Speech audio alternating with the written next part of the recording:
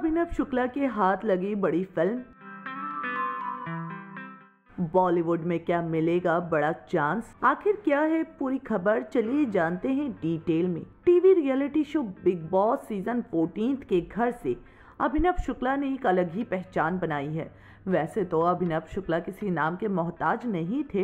वो पहले से ही टेलीविज़न से लेकर बॉलीवुड की दुनिया में धमाल मचा चुके हैं। लेकिन बिग बॉस सीज़न 14 से उन्हें एक अलग ही पहचान मिली है, जिसकी वजह से उन्हें शायद ही पीछे मुड़कर देखना पड़े।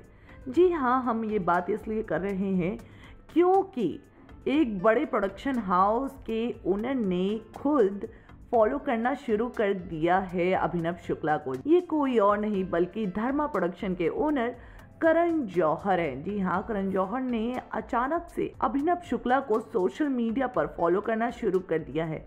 अब इससे ये अंदाज़ा लगाया जा सकता है कि अभिनव शुक्ला के हाथ जल्द ही कोई बड़ी फ़िल्म लगने वाली है। अब देखना ये है कि आखिर वो फ़िल्म कौन सी होने वाली है और अभिनव शुक्ला इस बात की जानकारी कब देते हैं। वेल well, आप कितने एक्साइटेड हैं अभिनव शुक्ला को एक बार फिर से बॉलीवुड में देखने के लिए आप हमारे कमेंट बॉक्स में ज़रूर बताएँ। टेलीविज़न के लेटेस्ट अपडेट्स और चटपटी गॉसिप्स को जानने के लिए हमारे चैनल को सब्सक्राइब करना ना भूलें।